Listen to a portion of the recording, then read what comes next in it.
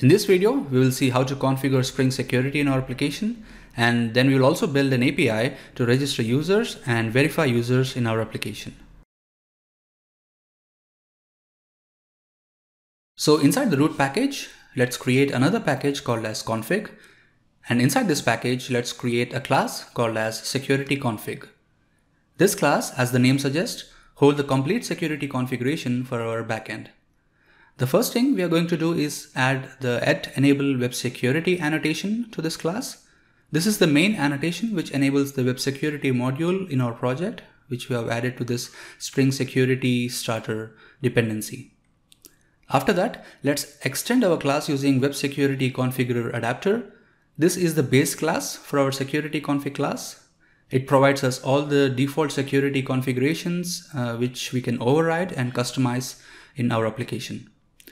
To do that, first we have to override the configure method which is coming in from the base class. This configure method takes HTTP security object as input and inside this method we will disable CSRF protection for our backend. We are disabling it because CSRF attacks can mainly occur when there are sessions and when we are using cookies to authenticate the session information. As REST APIs are stateless by definition, and as we are using JSON Web Tokens for authorization, we can safely disable this feature. Next up, we will allow all the incoming requests to our backend API whose endpoint URL starts with slash API slash auth. And we make sure that any other request which does not match this pattern should be authenticated. So we are done with the security configuration for now. Let's create the endpoint to register our users. I'm going to create a package called as controller. And inside this package, I'm going to create a class called as auth controller. And I'm going to add REST controller annotation on top of this class. Followed by the request mapping annotation, which takes the value slash API slash auth. Now let's create a post mapping inside the class with value as slash signup.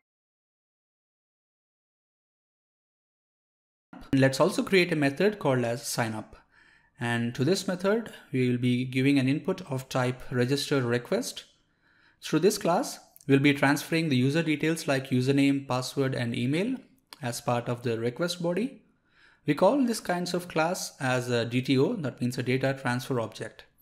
I'm going to create this class and put it inside a package called as DTO. And to this class, Let's add our Lombok annotations at data, at all args constructor, and lastly, no args constructor. Now let's declare the fields. The first one would be username, followed by email, and lastly, the password field.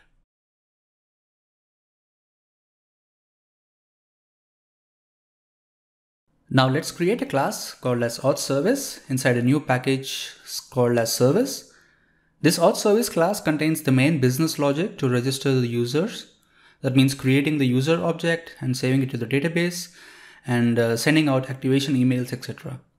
I will create a method called as signup inside the class, which takes in the register request object as input. And the first thing we have to do is to create an object for the user class.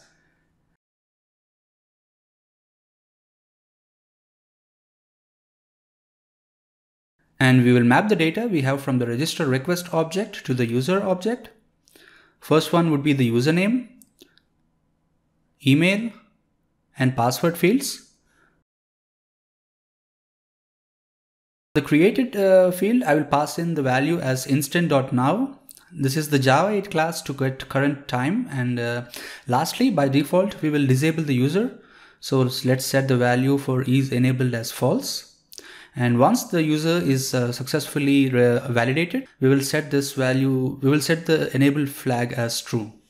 Before saving the user object to the database, we have to make sure that we encode the password. Storing the password in clear text is a very bad idea.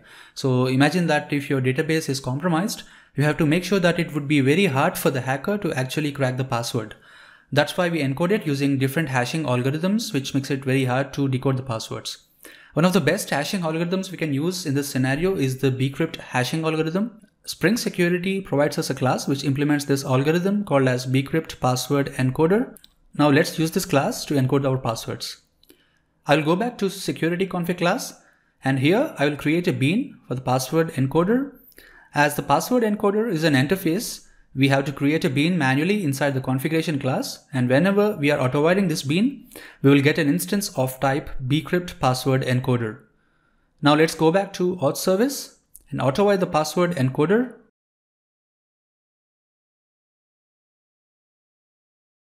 Now let's call the encode method of the password encoder before setting the password field for the user. And that should be it. Spring will now take care of encoding the password. Now it's time to save our user inside the database. For that, let's first autowire the user repository in our class. And inside the signup method, let's type user repository.save and pass the user object to the save method. Now it's time to do some refactoring for this class. You can see that we are using autowired annotation. There's, there's actually nothing wrong with using auto-wired annotation, but it is not usually recommended to use it because uh, we are using field injection here. And Spring recommends us to use constructor injection whenever possible. So I will add a link to a very good article which explains why to use constructor injection over field injection, but uh, just make sure to check that link. Uh, I will not explain it in detail in this video, but uh, so let's remove this auto-wired annotation and declare our field as final. And usually we have to create a constructor and set the variable for our fields and set the variable for our fields. But all this is taken care by the at all args constructor. Let's add that to our class. And lastly, let's not forget to add the transactional annotation to this method as we are interacting with the relational database. Now let's enhance our registration process by sending out account activation emails. For this, the idea is to generate a verification token right after we save the user to the database and send that token as part of the verification email. Once the user is verified, then we enable the user to log into our application by setting the enable field as true. Let's create a method called as generate verification token, which takes user object as input. And let's generate a random token here. We can do that by typing uuid.randomuuid. This will generate a unique and random 128-bit value, which we can use as our verification token. Now it's just enough to send, now it's just not enough to send this token through email and forget about it. We also need to persist this token in our database. So if the user chose to verify the account after two or three days, we may not have this in memory at the time. So it's better to save this token in the database. And whenever the user has verified the email, he, we will look up the token and then enable the user. So I will create an object for verification token and pass in the user and token details.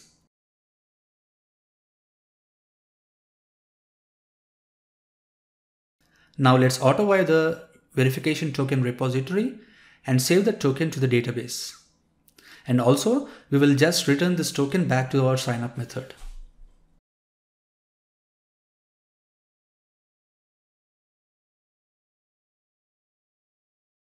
Right, now it's time to send out the activation email for the users. As first step, we need to add some additional dependencies to our project if we want to send HTML emails from our application. We will use a template engine called as Thymeleaf, which enables us to create HTML templates and use those templates to send the emails. Let's go to a pom.xml file and let me add the Thymeleaf starter dependency.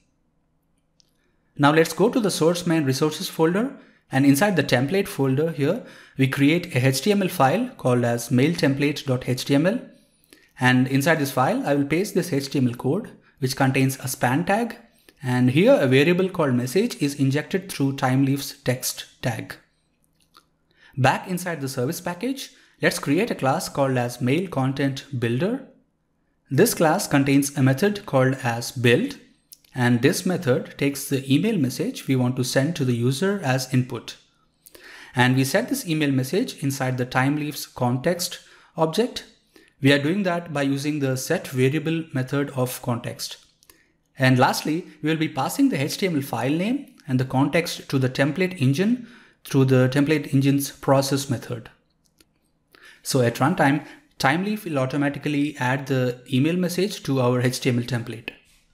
Okay, now it's time to send out email messages. Let's create another class inside the service package called as mail service. Let's add an annotation to this class, the usual service and at all args constructor annotation. Let's create a method called as send mail and this method takes the object of type notification email as input. If you go inside the notification email class, you can see that it encapsulates all the details we need for an email such as recipient, subject and body of the email. Let's go back to send email method and I will quickly paste in some code here. And now let me explain this. Uh, so we are constructing an instance of type MIME message helper inside the Lambda, which creates an instance of type MIME message MIME message preparator. And to this MIME message helper, we are passing in the data like the sender information. We are hardcoding it as springreddit at email.com. This can be any fake email address you like. Um, but uh, here, as we are using a fake SMTP server, it doesn't matter. If you want to use a real world SMTP server like Gmail or something else, then you have to give a real email address here or else it won't work. So moving on, we have our set to, set subject and set text methods. We are just mapping these fields from notification email object. But for the set text method, we are calling the build method of mail content builder object so this method will return the message in the HTML format.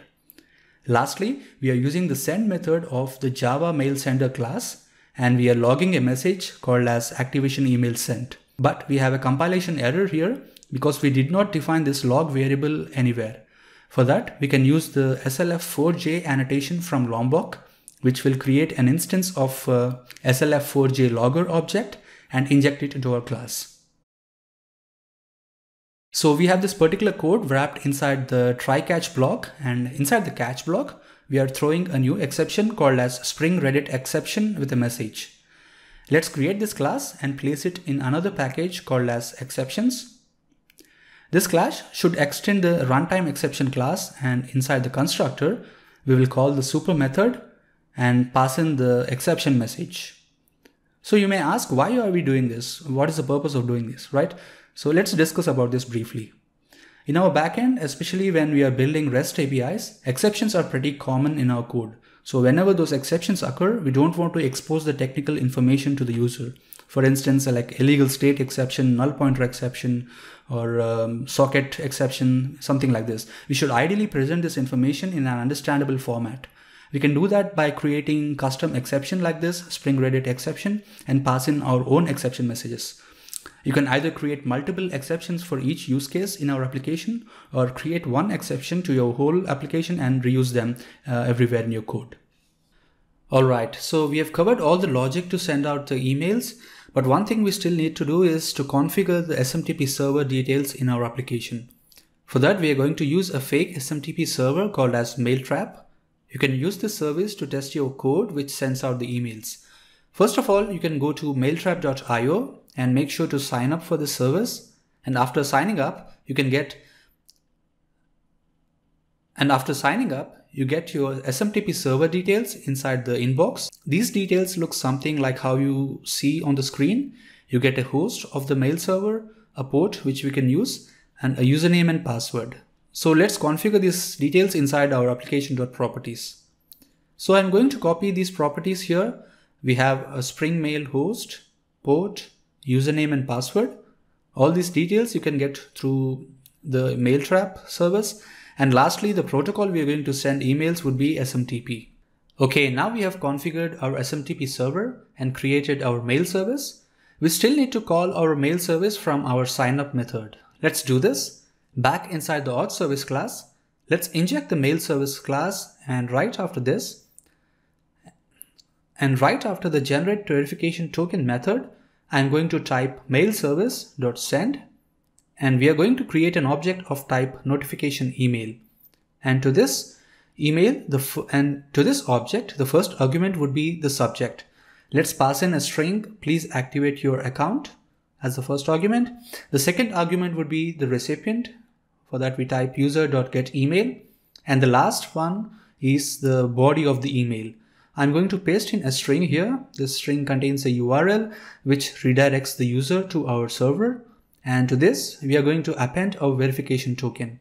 So whenever the user clicks on this URL, we take the token from the URL parameter and look it up in our DB, fetch the user who created this token and enable that user.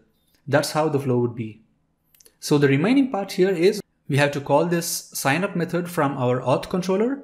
Let's do that. Back inside the controller, I'm going to inject the auth service class and call the signup method. And so if the registration is successful, we have to send a message to the client. We can do that by just returning a response entity, which takes a string as the first argument, and we will pass the string user registration successful. And the second argument would be an enum value OK from HTTP status enum.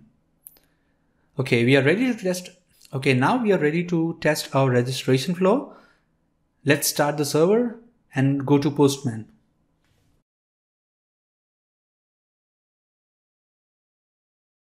So I'm using a REST client called Postman to make calls to our backend here.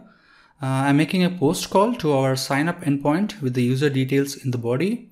Now let's click on send and we got a response block and we got a response back from the server as user registration success. The first thing is let's check the database and check if our user is really saved and the password is encoded or not.